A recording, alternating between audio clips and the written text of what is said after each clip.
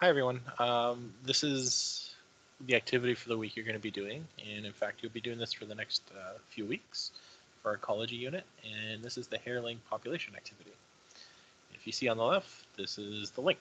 It's uh, about the size. Uh, how big would you say, Miss Engelhardt? Size of a medium dog? Yep, about that. And then a hare, um, it's just a wild type of rabbit. So they're maybe the size of uh, like a little chihuahua or a small cat. There we go. Um, and these are both animals that exist in the subarctic in Canada. And we're going to play a game. So let's look at some of the rules. So the first one is the blue pieces represent the hare. And you're going to see them looking like that. It's a blue piece with a picture of the hare on it. The yellow pieces represent the lynx. Again, yellow piece with the lynx. And you, you notice how they moved a little faster, right? Because they're predators. I don't know if anybody caught that. See? the hare moves slow and then the lynx moves fast. Okay. I must be quarantined too long. The lynx only have one food source, the hare. And the hare is so small, the lynx. Oh, I spelled lynx wrong there. Okay, we'll fix that after. The lynx will respond uh, with, with the following actions. If the lynx gets three hare in a round, they reproduce. So if you see this happen, three hare and the lynx gets small, and then they reproduce. So you're going to add a lynx. If the lynx only get one or two hare, so there's it getting two, there's it getting one, nothing changes. The lynx survives. And the last situation, kind of sad, but if the lynx doesn't get any hare, then they starve and die. So there, it got no hare, and bye-bye lynx. Goes away. And that's the rules for the lynx. For the hare, they have an unlimited food source. There's enough grass and everything to keep them well fed. So if any hare that doesn't get eaten, it doubles. So there's we have one hare and it grows to two. Hence the term growing like rabbits. Breeding like rabbits? Yeah, there you go. Breeding like rabbits. A couple more things we gotta look at here. We count at the end of the drop and we calculate the number of lynx and the number of hare after the interaction. And you'll see as we play that's how it works. When the hare are put on the board, they want to spread out, so they're not just going to stay on top of each other. And if two lynx land on one hare, the first lynx to draw twins. So let's see how that looks. We have a hare. You got caught by a lynx. Remember, this lynx's only going to survive one hare. And then let's say another lynx comes along and says, hey, give me that hare. Well, he can't. It's already been eaten. So that lynx, unfortunately, dies and disappears. So those are the rules. Let's uh, see if we can play. So here's our game board, this orange space, and hare is the numbers we start off. Now we always start off with three here and one lynx. Now we'll get a little bit more into um, immigration and emigration when we talk about population uh, dynamics, which I believe is next week. But nonetheless, you're always going to have at minimum three hare and one lynx. So if we kill off all the hare in one round, which I think actually happens in this game, you notice we'll have three more hare always come back in. And if we end up with zero lynx, then you'll always end up with one more lynx in the next round. And again, we, we have an example of that happening. But let's just play the first round. So our three hare, there we go, they drop on the board. And our lynx goes ahead and goes hunting, and he misses.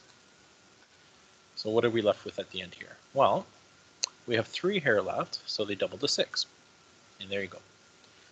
The lynx is zero, but one will immigrate in next round. So we have zero lynx. So if you see up here on the left, we now have our numbers for the first round. We're going to have six hare at the end and zero lynx. Let's play the next round. There's our six hare, like last round. And the lynx drops. Right? Remember, one lynx immigrates. Even though it says zero lynx, we still got one that comes in. And, oh, wow, he caught two. Okay. I mean, I guess it's a he or she. So we'll go, she caught two. Let's go. So after the drop, we have four hare left, which double to eight. There we go. And the lynx caught two, so that means that lynx will survive. And there's our data for that round. Round two, we'll have eight hare at the end with one lynx surviving. Round three, oh, one of those hare decided to move as well, but still eight if you count. And there we go. The lynx drops, captures two. Okay, so far and so on. So I'm going to stop um, announcing the result after every round, and we're just going to play through and just watch the numbers as they go. If there's anything interesting, uh, one of us will point it out.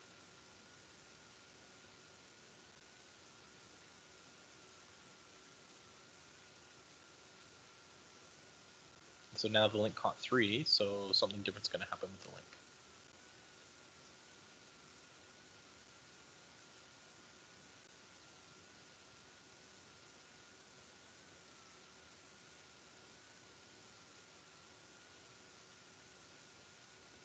That's a lot of hare, isn't it? That is a lot of hare. Hmm. So both of them had a nice healthy meal. And there's our data. Okay, round six. Yum.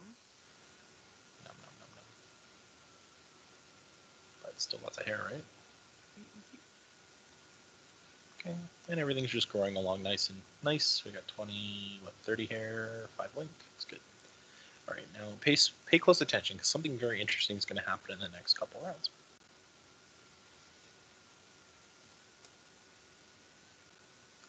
Hmm, So That one one lynx didn't get any. Yeah. See, he's on top, right? So we'll take a look here. So first we got a double, so now there's a ton of hare on the board. But we are only going to be left with seven lynx, because this one doubles, this one doubles, this one doubles. So that's two, four, six. This one survives. Survives. I mean, I guess he could have ate that one, but I, I, I didn't count it. Okay.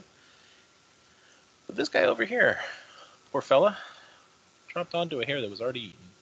So it dies. So that's why we only have seven at the end. And there's our data.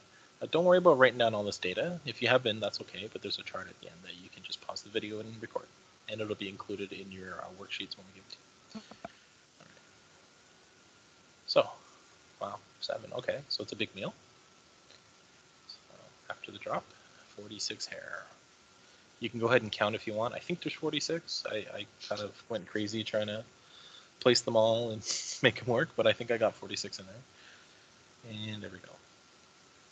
Three blink double and three survive, so we're going to be left with nine at the end. So there we go. Okay, so this is where um, it really starts to get a bit wonky here. And let's just take a look. Whole lot of eaten.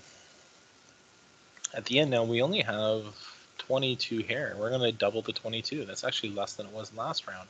But what happens to the lynx population? Well, let's take a look. Still growing. It's still growing, right? So you end up getting uh, nine doublings. There was so many hare on the board that it was really hard for them to miss. So everybody got a nice full meal. But what was the impact on the hare population? It's going to be one of the questions you're going to have to answer later. And there we go. Okay, so now we're going to be dropping 18, 18 lynx. And there's the 18 lynx on the board. That is bad for the hare. if you ever watch Lion King, it's kind of you know why uh, you know Mufasa was always trying to control hyena, right? So um, it didn't work out very well. You had zero hare at the end. Uh, and we'll have three come in next round, but there's none left. It was a bloodbath, and it actually didn't work out too well for the lynx either because you only had two lynx that got enough to double. I think this guy here and maybe this one down here. Uh, oh, this one dropped on that guy first. So this one and this one got a full Yep. meal. Something like that. Okay, and then you had nine survive and seven die. So you had a whole bunch of these lynx that didn't get a meal and they died off. And all those hare died too. I'm just showing you that there's a lot of hare under those lynx and that they're gonna they all die off as well. So at the end of the round, what we're left with is no hare and 13 lynx. So like we said, we're gonna have three hare come back in, but we're gonna be dropping 13 lynx. Well, the first three that we drop are gonna probably get a meal, right? So do we want to bother dropping the other 10? What do you think? Nope. There's nothing for them to eat. Nothing for them to eat. So there's no point in dropping the rest. Everything's dead. So we know what's going to happen. And you notice here, there's so few here. They like to spread out, right? You're never going to have the hare close enough together that one lynx can catch three to double. Right? That's that's kind of how it works. There's not enough hare there for the lynx for the lynx to uh, do anything but just survive. So after the drop, again, no hare left. Don't worry, we'll have three more come in next round. Three lynx survive and ten die. So there's our new data. Okay, the next round, we're going to drop our three. And, oh, there we go. One lynx managed to get a meal. And one lynx managed to get a meal. And these two guys died off. And there we go. So at the end, we're gonna two is gonna double to four, and we'll be left with one lynx. And if you look at the data now, the simulation is reset. This is suspiciously similar to the first round, which was three and one. Everything has reset, and if we played the game again, it would just play out like we did it last time. Maybe a few different numbers in each round, but after 10, 12, 13 rounds, we'd end up with what we call a reset. We've gone back to the base numbers. And when you look at your population information, you'll notice that populations go up and they go down. They go up and they go down. And there you go. That's how we play the game. Now here's a table of value for the first 13 rounds. I've included one extra round here. I didn't bother uh, making an animation for it, but those are the 13 rounds. And that is the data you're going to be needing to graph. So you have your round round numbers, you know, 0 to 6 here, 7 to 13 here, number here, and number of lynx. Well, hopefully uh, this video was informative and had enough detail in it. If you have any questions, feel free to ask Miss Engelhart or myself. Uh, Miss Engelhart, do you have anything to add to this that you think they should know before we stop it? No, I think that's pretty good. Perfect. Well, everyone, have a uh, wonderful time graphing this data and let us know how it goes. Bye. Bye.